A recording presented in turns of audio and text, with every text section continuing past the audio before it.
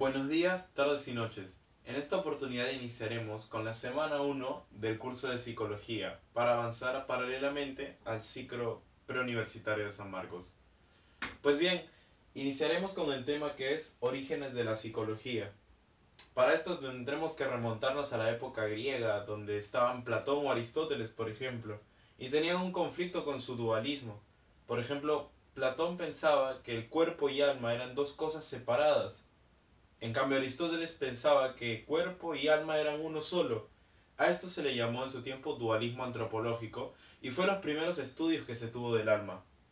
De ahí salió un término griego que refería a alma llamado psique y un término griego llamado el estudio de esta llamado logos.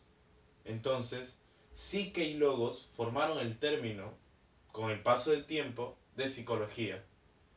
Después de Aristóteles, tuvo lugar pensadores como Descartes, por ejemplo, que tiene su propio dualismo cartesiano, que consistía en decir que los procesos cognitivos, la psique humana y su naturaleza biológica, el sistema nervioso, eran dos cosas separadas. Eso era lo que decía Descartes en su momento. A esto se le llama dualismo cartesiano. Y poco a poco fue evolucionando hasta que la ciencia, con por ejemplo Joseph Gall, forman, digamos, nuevas disciplinas como lo son la frenología, que era una forma de estudiar el sistema nervioso, diciendo que ciertas partes del cerebro actúan digamos, si yo presiono acá, mueves este brazo, si yo presiono acá, empiezas a llorar. Ciertas partes del cerebro eh, influyen en nuestra vida cotidiana. Bien, ahí por ejemplo puedes ver el homúnculo de Pentium mm, motor, bien. Entonces, esas cosas corresponden a la frenología, bien, que básicamente basaba todas sus cosas en fisiología. Pero no fue hasta que Weber y Fechner, como físicos, incluyeron la física en la psicología. Y gracias a la física, la psicología se transforma en una ciencia, potenciándose con la matemática, formando la psicometría, después con una escuela llamada funcionalismo.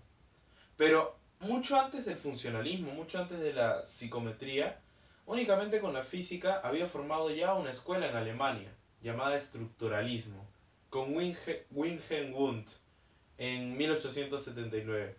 Entonces, aquí es donde empieza a iniciar todo este mundo de la psicología.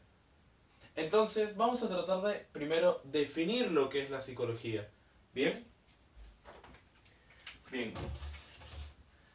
La psicología es el estudio, el estudio de la conducta humana, o bueno, la conducta y los procesos, procesos psíquicos. Derivado de esto también se va a entender que estudiará la personalidad. A ver, ¿por qué corregí eso y no dije únicamente humana, ¿no? Conducta humana, porque también estudia a veces la conducta animal o se basa también en estudios de la conducta animal. Entonces, la psicología es el estudio de la conducta y de los procesos psíquicos. ¿Listo? Esa es, digamos, la idea que se tiene por, digamos, por, por voto, ¿no? De todas las personas. Entonces, de toda la comunidad de psicología. Bien, entonces, ¿Qué es esto de conducta y cómo está relacionado a los procesos psíquicos? Lo que pasa es que nosotros tenemos este modelo, el modelo de los procesos psíquicos, que son la unión de procesos cognitivos, la unión de procesos afectivos y la unión de procesos conativos. Entonces, la unión de estos tres procesos me resulta dando la personalidad. Bien, Entonces, los procesos cognitivos son aquellos que nos sirven para conocer, para aprender, para entender. Estos procesos, por ejemplo, son la memoria, el pensamiento, el aprendizaje, las sensaciones, las percepciones, la imaginación, el razonamiento. Entonces, todos esos son procesos cognitivos. Unidos con los procesos afectivos, que son cuatro nada más. Las emociones, las, eh, digamos, las emociones, las pasiones, los estados de ánimos, y los sentimientos. Esos son los procesos afectivos. Y dos procesos conativos, que son la voluntad y la motivación. Entonces, si unimos todo esto, formamos la personalidad de una persona. Llámese de otra forma. Esto forma la inteligencia, esto el temperamento y esto el carácter. La unión de inteligencia, temperamento y carácter forman la personalidad. Pero ¿cuál es la finalidad de la psicología? También es importante ver. La finalidad su finalidad, su finalidad es describir, describir, explicar, explicar, predecir y controlar los fenómenos los fenómenos psíquicos. Bien, esto es la finalidad de la, la finalidad de la psicología. Bien, es describir, explicar, predecir y controlar todos los fenómenos que afecten al humano. Por ejemplo, el trastorno de déficit de, atención hiperactivo, ¿no? TDAH. Eh, en los niños, por ejemplo, algunos se explica con cierto exceso de algunos neurotransmisores. Bien, entonces, describir es que es un trastorno de déficit de atención presente normalmente en algunos niños, lo explicamos con el exceso de algunos neurotransmisores, podemos predecir que, digamos, si tiene esta alimentación, si tiene estos estilos de vida, se puede potenciar, qué sé yo, ¿no? O sea, todo esto es el trabajo de la psicología a la larga. ¿Bien? Entonces, esto es lo que tenemos hasta ahora de psicología, con un modelo de estudio lo que, ha lo que ha llegado a formar cuatro grandes ramas de psicología. Lo que viene a ser la psicología clínica, que se encarga de estudiar más que nada o se preocupa por estudiar la salud mental de las personas. Bien, eh, tanto en un proceso conductual como emocional. Por ejemplo, las personas que tienen actitudes compulsivas, ¿no? conductas compulsivas, compradores compulsivos, omitómanos, eh, o personas con problemas emocionales, rupturas con una pareja, por ejemplo. Entonces, eso se encarga la psicología clínica. Otra, otra gran rama de la psicología es la psicología educativa. Educativa. Que no es lo mismo, y acá te lo aclaro, no es lo mismo que la psicopedagogía. Psicopedagogía.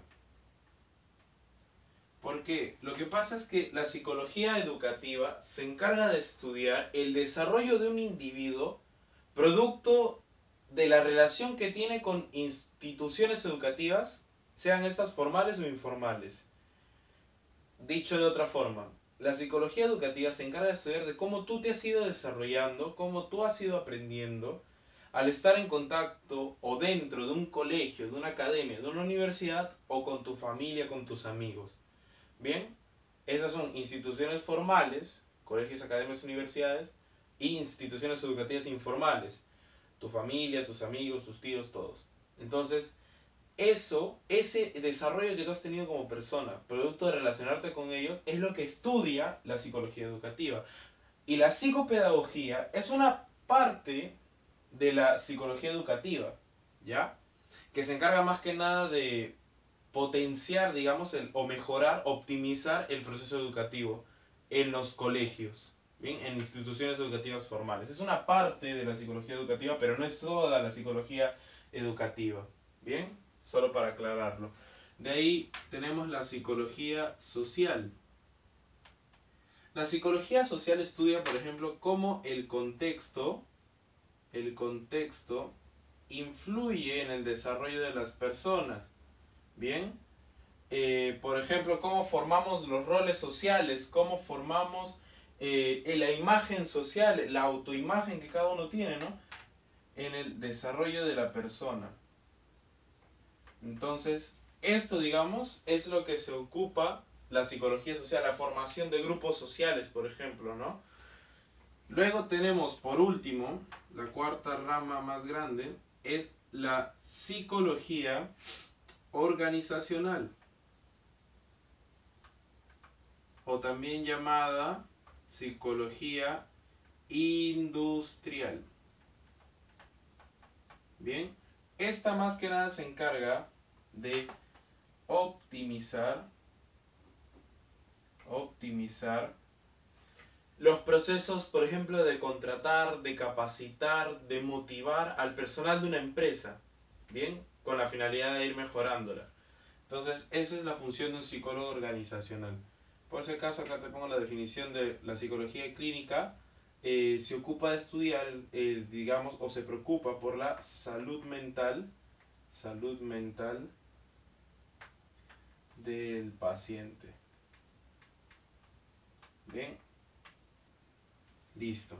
Entonces, cada una de estas ramas se basa o se guía por el modelo de lo que tenemos actualmente, cinco enfoques psicológicos, ¿bien? Para llevar a cabo sus funciones. Entonces, ¿cuáles son los enfoques de la psicología? ¿Cuáles son esos cinco enfoques psicológicos? Son el enfoque psicodinámico, el enfoque conductista, el enfoque cognitivista, el enfoque humanista y el enfoque biopsicológico. ¿Bien? Entonces, el enfoque psicodinámico se remonta a los tiempos, por ejemplo, de Sigmund Freud.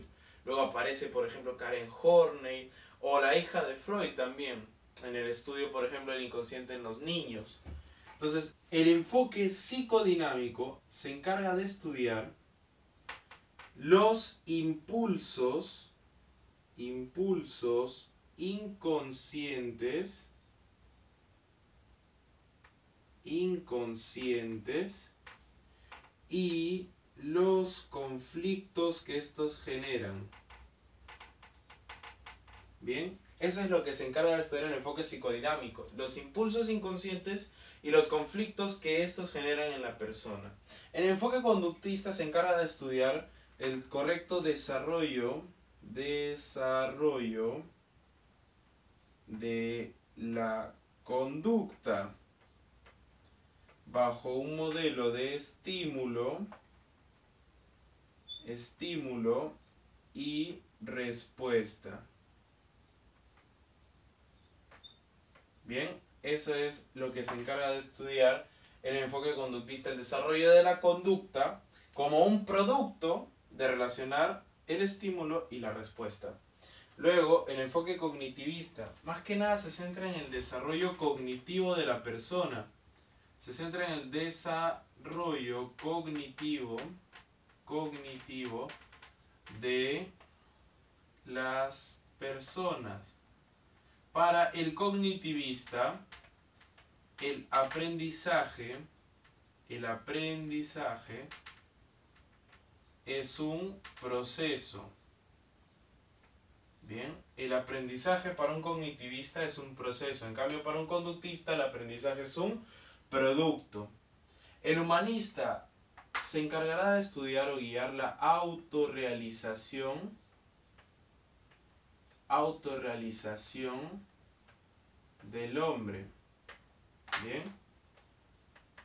Y su premisa, digamos que asegura esto es que el hombre posee libre albedrío.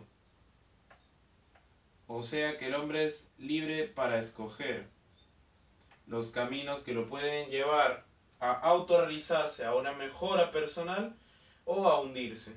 ¿Bien? Ese es el enfoque humanista. Y el biopsicológico es una relación, o sea, explica explica, detalla la conducta bajo bases biológicas. Detalla, explicamos la conducta bajo bases biológicas. Esta perspectiva se tiene del sistema, sistema nervioso. Bien, la base biológica principal es el sistema nervioso. Esto nos trae dos, dos divisiones del sistema nervioso, el sistema nervioso central y lo relaciona con un segundo sistema que es el sistema nervioso periférico. El sistema nervioso central se va a dividir en encéfalo, encéfalo y en médula espinal. Médula espinal.